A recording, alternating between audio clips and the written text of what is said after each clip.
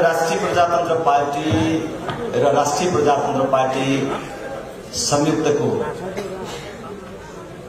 एकता घोषणा सभामा हामी सहभागी भइराखेका छौँ। बडो इमान्दारीका साथ भन्नुपर्छ कि मनमा जति खुसी छ त्यतिकै आशंकाका थुप्रोहरू पनि छन्।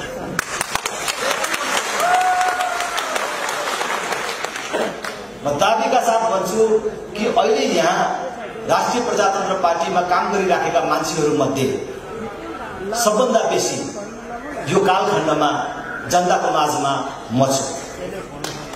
मैले जनताको भावना बुझेको छु कार्यकर्ताको भावना बुझेको छु। हामीले जहाँ जाँदा पनि जहिले पनि हाम्रा शुभचिन्तकहरूको र हाम्रा भोटरहरूको सुझावको रूपमा निरन्तर रूपमा के पायौँ भने तपाईँहरू किन मिल्न सक्नुहुन्न? तपाईँहरू मिलेर आउनुहोस् न रायनजी। एकता हामीलाई जरुरी थियो। नमिलेको कारण हामीले कुन कुन प्रकारको क्षतिहरू बिहोर्नु पर्यो त्यो मैले भनिराख्नु पर्दैन। मैले एउटा निर्वाचन क्षेत्रबाट पैँतालिस हजार भोट लिएर आएर पनि जितेको जस्तो अनुभव भएको छैन। कम्युनिस्टहरू भन्छन् हामीले नसघाएको भए राप्रपाको बिउ पनि रहने थिएन भन्छ। हाम्रै भित्रकै पनि कतिपयहरूले भन्छ रायन्द्र त्यो फुर्ती लगाएर हिँड्छ कम्युनिस्टले नबोकेको भए के आउँछ भनेर भन्छ। हामीले सघाएर कम्युनिस्टहरूले एक दर्जनभन्दा बढी सिट जितेका छन्।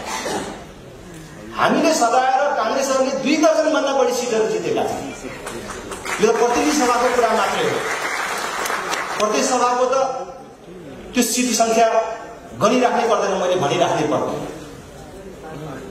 तर कुनै एउटा काङ्ग्रेसले कुनै एउटा कम्युनिस्टले हामी दुवै थरीका राप्रपालाई धन्यवादसम्म पनि भनेका छैन त्यो के कारण? कसको दोषको कारणले हामी यो नियति बाध्य छौँ? म त्यो पुस्ताको प्रतिनिधि हुँ।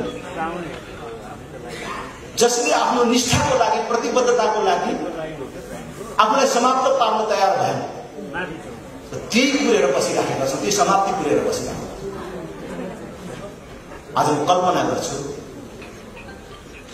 राष्ट्रिय प्रजातन्त्र पार्टी जुन दिन स्थापना भयो त्यस बेला दुईटा पार्टीको रूपमा स्थापना नभएको भए त्यसपछि पनि मिलेर फेरि नफुलेको भए। आज अध्यक्ष भाइ तपाईँहरूलाई सोध्न चाहन्छु। मेरो कुरा सुनिराख्नु भएको छ कि छैन?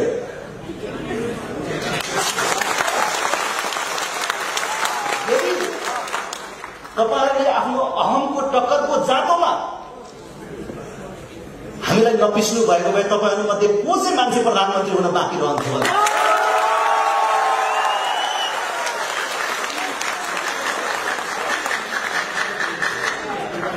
तपाईँहरूले आफूलाई मात्रै बर्बाद गर्नु भएन। जुन बेला यो देशमा भर्खर बौद्धले व्यवस्था आएको थियो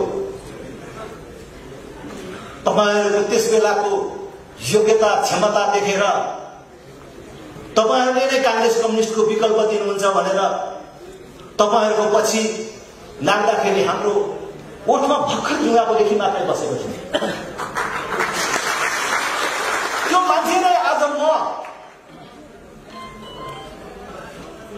युवा भन्ने वैधानिक हैसियतबाट पर पुगिसके। समय कति पर गइसक्यो? समय कति बदलिसक्यो? के अब पनि चेताउनु पर्दैन?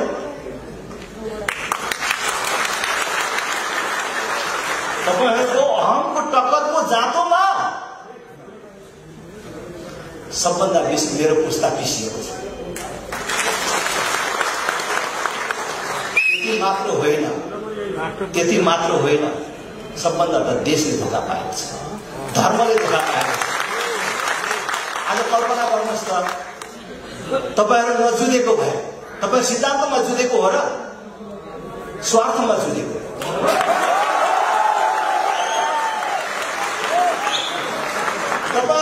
नबुझेको भए तपाईँहरूले हामीलाई नफुटाएको हामीले हामीलाई तपाईँहरूले आफ्नो गोठको गाईबस्तु जस्तो लुरु लुरु पछाडि हिँड्ने नबनाएको भए बारम्बार नफुटाएको भए आज यो देशमा गणतन्त्र आउँथ्यो।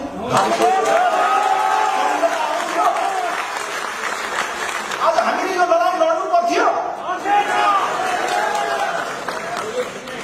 यो तपाईँहरूका निम्ति अन्तिम अवसर हो। यो अन्तिम अवसर हो। सायद यो हजारौं कार्यकर्ताको मनमा मडाली राखेको कुरा हो र देशभरिका हाम्रा शुभेच्छुकहरूको मनमा मडाली राखेको कुरा हो कि तपाईँहरूको लागि यो अन्तिम मौका हो। यो नचुकाउनुहोस्। सबैले भन्न सक्दैनन्। तपाईँहरूले एउटा कार्यकर्ता बचाइराख्नु भएको छ राजेन्द्र दिनलेन भन्ने मान्छे जसले भन्न सकिराखेको छु। आज तपाईँहरू म पछि बोल्नुहुन्छ। तपाईँहरू एक एकले भन्नुपर्छ। कि नाम कसको अगाडि पर्यो आसन ग्रहणमा कसको नाम अगाडि आयो? सम्बोधन कसको अगाडि भयो? भनेर तपाईँहरूले कार्यकर्तालाई भेदभाव गर्न पाउनुहुन्न। रोक्न पाउनुहुन्न।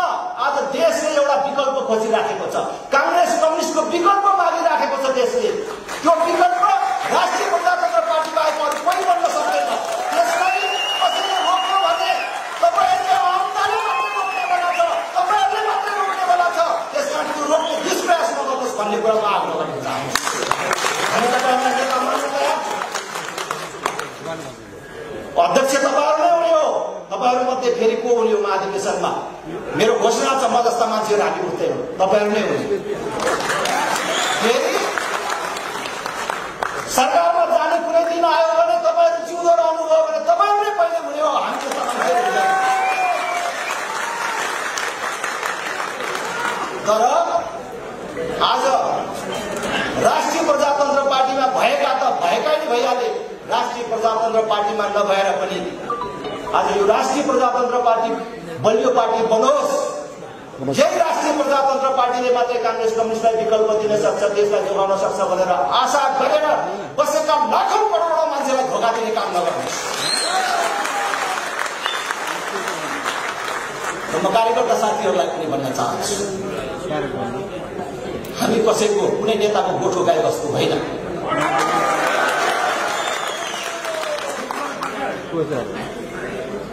हामीले के के नियति त्यो अभागी दाजुभाइहरू घर बनाइसकेर बर्खाको बेला कोठा मिलाएर ओछ्यान मिलाएर बस्नुपर्ने बेलामा मैले रोजेकै कोठामा बस्न पाइनँ भनेर घरै भत्काएर खाना खुट्टी बाँडेर हिँड्ने पाल थापेर बस्ने काम कतिले गर्ने